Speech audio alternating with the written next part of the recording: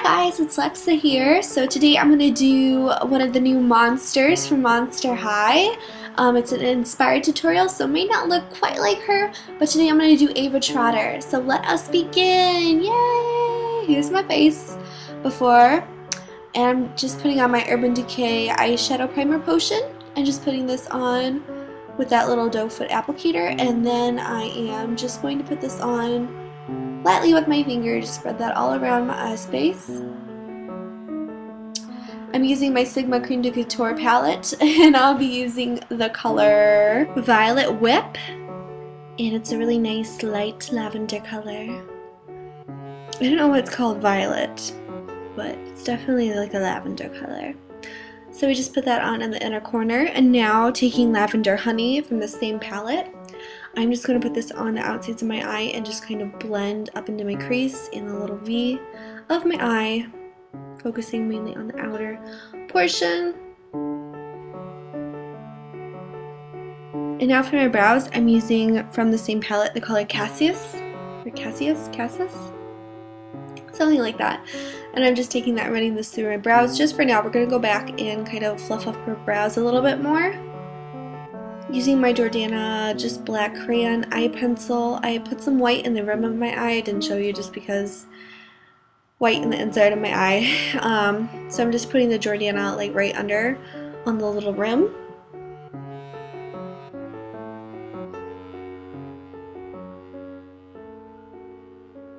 And now I'm taking my NYX uh, black liquid liner and I'm just going to run that through right on top of where we just put the Jordana. We did put it on the upper lash line as well.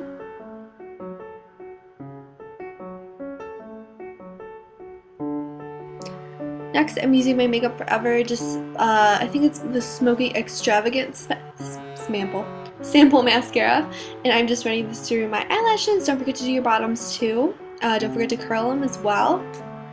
Um, I put some fake lashes on, some really big ones. I think it's called they're from Bat Those Lashes, I think, Fright Night.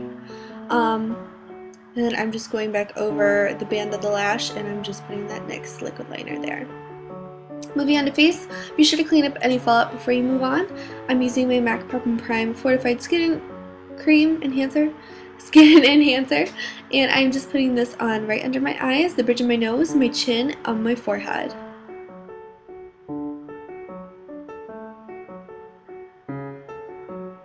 Now I'm putting on my NARS concealer in custard. I just kind of dot it and then I rub it in.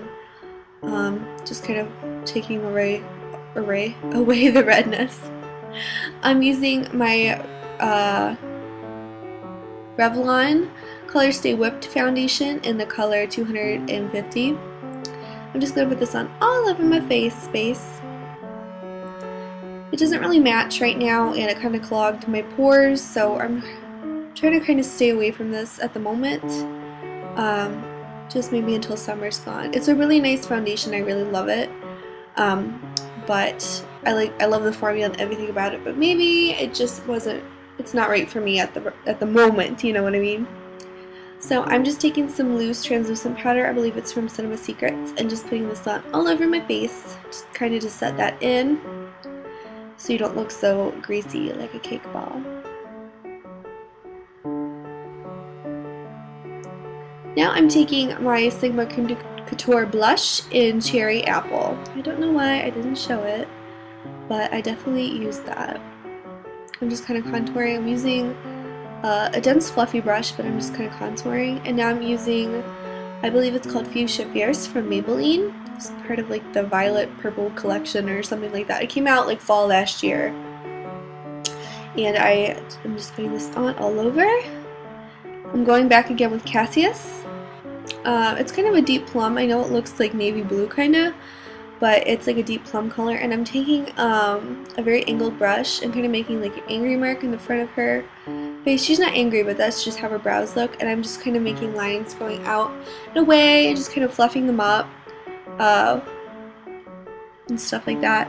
And I also use Cassius. I just put, uh, I used a really small detail brush and I just took lines like under my eyes because it looks like she had feathers coming out from the bottom lashes but I did not have time nor did I have the right materials to put feathers under my lashes otherwise that would have looked really cool So I just did just some lines to make it look a little bit more interesting and a little bit more dark.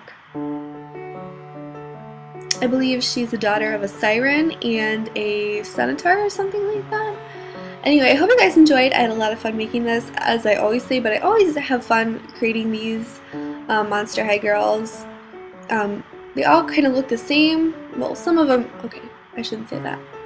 Um, a lot of them use pinks and purples, that's what I'm trying to say. A lot of them use pink and purple, but it's fun to create it in my own kind of fashion and way and stuff like that. So anyway, if you guys have any suggestions for future videos, please leave those in the comments down below and I'll be sure to get to them very soon.